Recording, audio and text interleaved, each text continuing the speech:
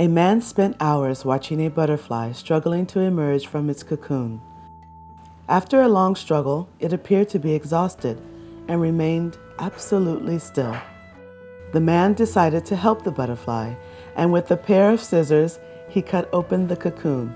However, the butterfly's body was very small and wrinkled, and its wings were all crumpled. The butterfly spent the rest of its brief life dragging around its shrunken body and shriveled wings. What the man had failed to understand was that the tight cocoon and the efforts that the butterfly had to make in order to squeeze out of that tiny hole were nature's way of training the butterfly and of strengthening its wings.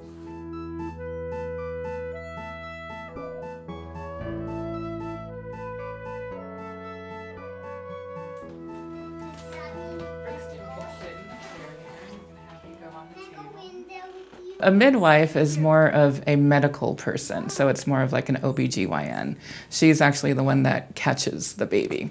A doula is there with the mother 24 7, you know, while she's uh, laboring in the beginning of the laboring, if she wants it. It's up to the mom when she wants the doula to come.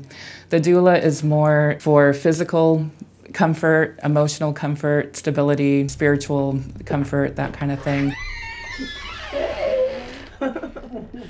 Oh, good to see you, darling. See Come you. on in. A doula does nothing medical.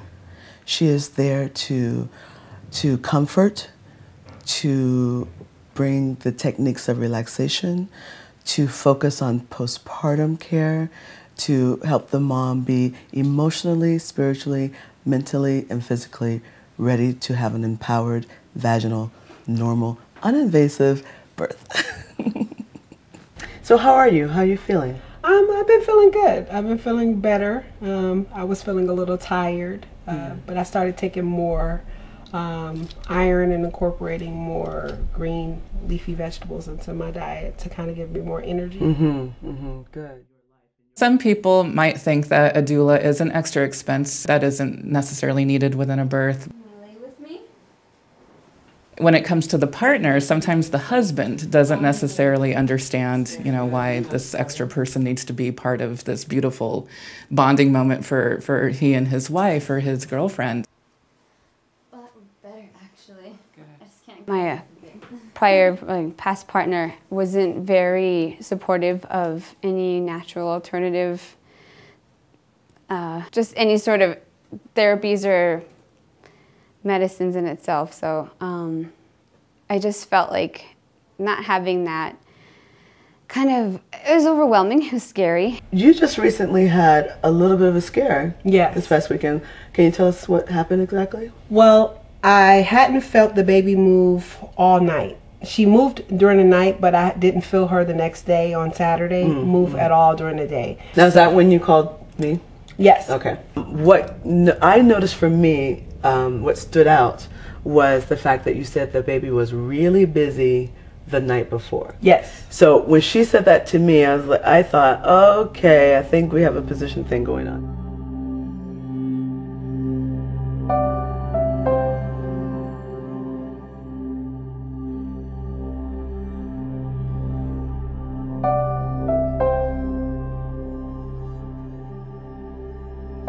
Women have always assisted in birth from the beginning of time.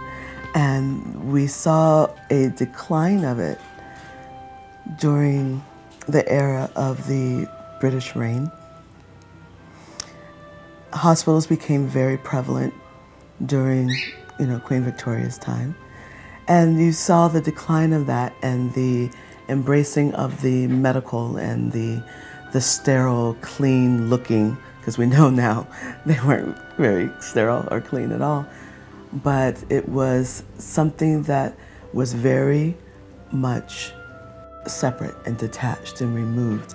And basically, that whole era took the emotion and the compassion and the spirituality out of birthing. Birth was always in the home, death was always in the home, so it became a very normal part of life. And once they became separate and removed, they became these mysteries and this dark, scary place. Back in the 50s, the medical industry completely changed. I've seen footage and pictures of women who have bags over their head during delivery and they're in five point restraints and they just they really talk about dark ages. That to me feels like like almost a torture thing from the from the dark ages. It's very hard to honor birth in a way that is cruel. That's when the whole medical industry took over birthing and people kind of forgot what a natural birth was or a home birth or a midwife. And they were kind of made to look like you know snake oil people or like you know witches or whatever you want to call them.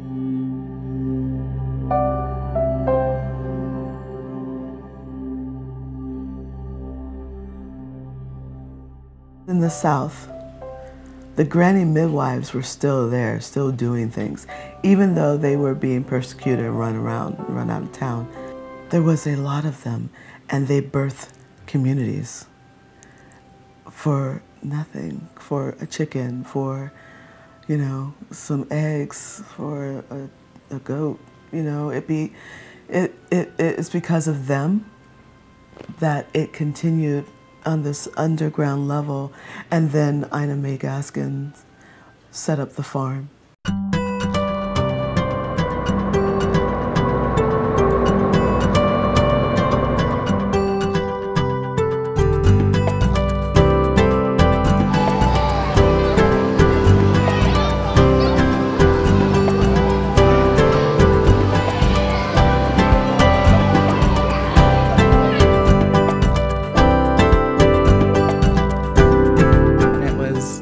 Midwives and they well they weren't midwives at the time but they went into training with nurses and doctors and became midwives again and you know doulas and kind of traveled around like a gypsy train. It was beautiful.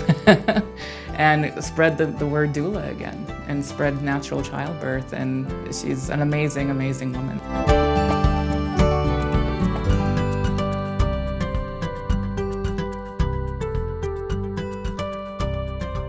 The idea that you could have a choice, that you could have a birth that was informed and full of consent instead of feeling bullied, told you're being a bad mother. Things happen to you without your knowledge. You know, that became in the 70s the ultimate, you know, goal. That we're going to do it this way. This, this gives us respect, this gives us power, this gives us a say.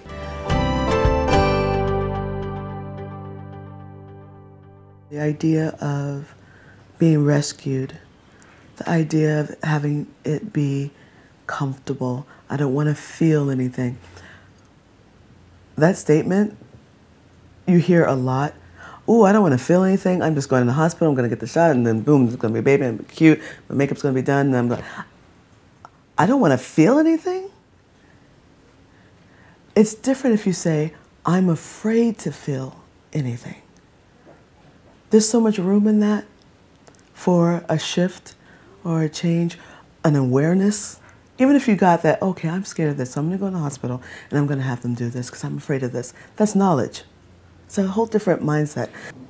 Uh, the experience that I had the first time around wasn't what I really expected. I was really going for a natural birth and it kind of turned into a last minute overnight um, you're going in for a c-section next morning. My son was breech so um, i feel like i didn't really have a lot of time to make those decisions and I, it ended up kind of being a pretty traumatic experience.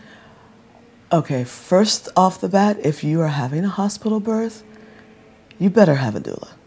She's not an expense that um, you can let go. It's very necessary actually because you cut your chances of having a C-section, a cesarean section, in half by having a doula with you in a hospital setting.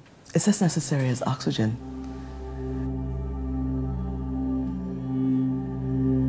Of course, I love being part of the natural birth, but um, you know, I feel like the women who do decide to, to have that sort of birth deserve support as well.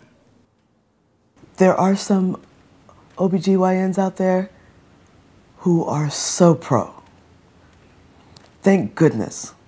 You know, they get it. They appreciate the midwives. They love when a doula has walked into the office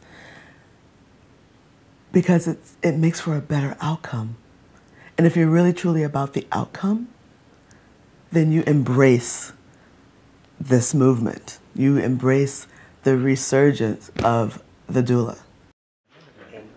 When I first started four years ago, there was a lot of like, oh, the doula's here, you know, she's kind of in the way type thing. But I've noticed, you know, in the last year or so that there's even a space on the intake paperwork for a doula now, which is new. That, that's a good thing. Um, and nurses and doctors, you know, are, are more willing to work with a doula now. The infant mortality rate has risen in America. The maternal mortality rate has also arisen in America. We have so much information and so much knowledge for us to be down in this area where they're, you know, we're next to like some third world countries.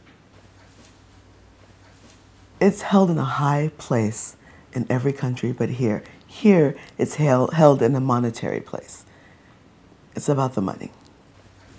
Whereas you have Europe showing these beautiful, amazing numbers because it is a feminine driven idea of birth. It's that idea that you bring the nurturing, you bring the compassion, these aspects of the divine feminine.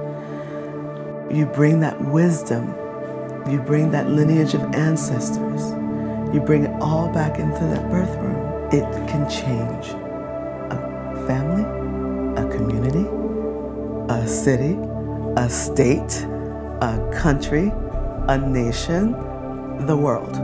It is so not just about that one person.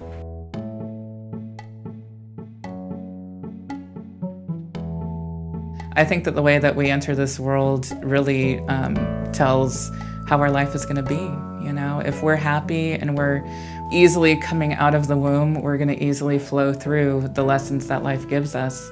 Whereas if we're kind of cut out or it's it's it's a rocky beginning and we feel scared and all of a sudden we've got these huge lights and we feel cold and you know we're not in safety anymore, I feel like that that leaves it leaves a scar.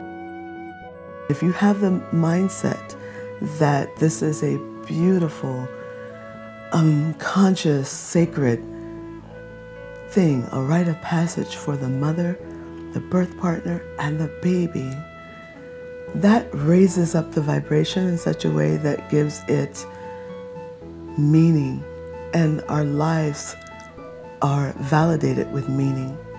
And so that mother who births that child in that consciousness with that vibration is setting the tone for that child's life.